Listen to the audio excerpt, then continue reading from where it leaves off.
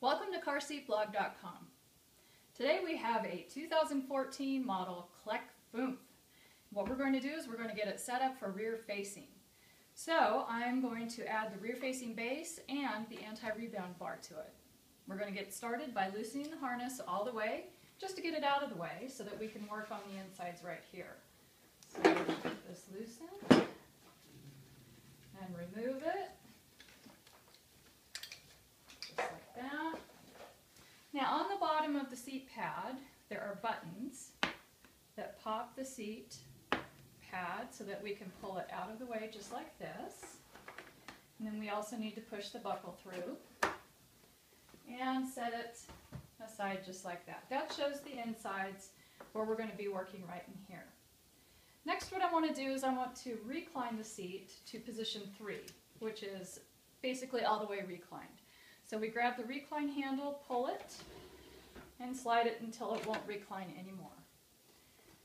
Next what I want to do is I'm going to grab my recline base right here to get it out of the way on the countertop. But I also like to work just with the seat all the way back like this. I find it to, easier to do that than it is to take the seat and flip it over and try and get it, eh, it's too much work.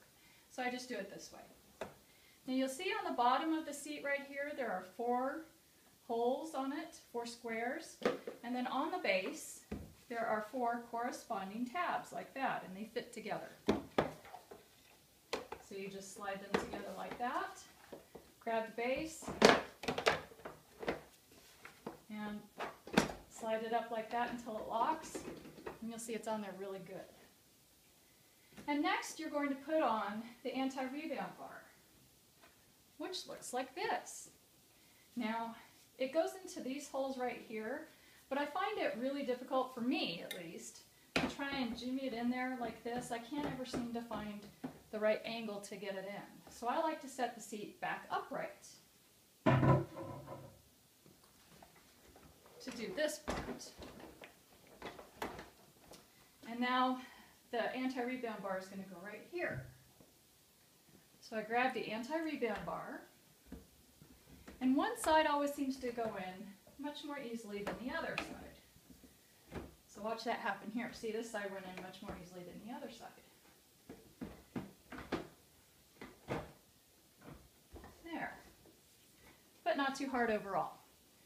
So you'll see, I don't know how hard it is to see it here, but there's the anti-rebound bar right there and one right here. Now, the bar is held in with these locking pins. And they look like that. One's got a cotter pin and it holds it in just like that. If I were to let go of this anti-rebound bar, it would slide right out. So that's why these pins hold it in. These pins slide in right here through the holes right here. But you'll notice that the latch storage spot is kind of blocking where I need to put this pin. So you need to take your latch connector out so that you can slide this pin in. And once you've got the pin in on one side, the whole bar stays in. Then you can slide this little cotter pin in and it locks. But you also need to do it on the other side. Don't forget that side. So you do the same thing on this side.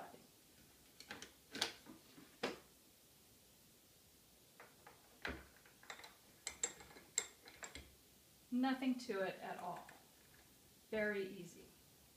Put that in all the way. And it's locked in there nice and tight.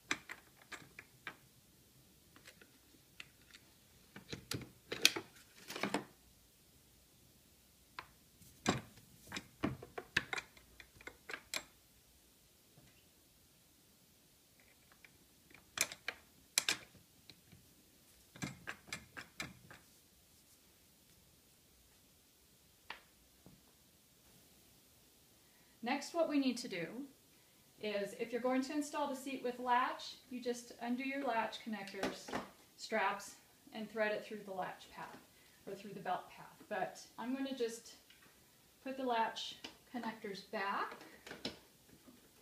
and put the seat pad back on.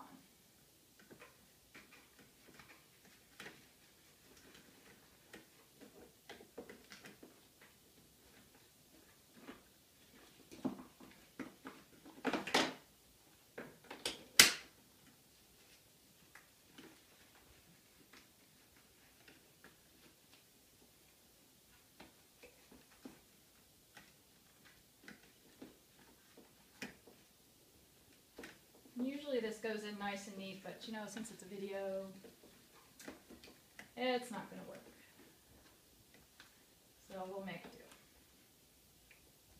Stay. So the pad just slides back on, put the buckle back through, nice and easy. Slide this back in, lock it back down, and there you go. Your seat is now set up for rear facing. Thanks for watching carseatblog.com.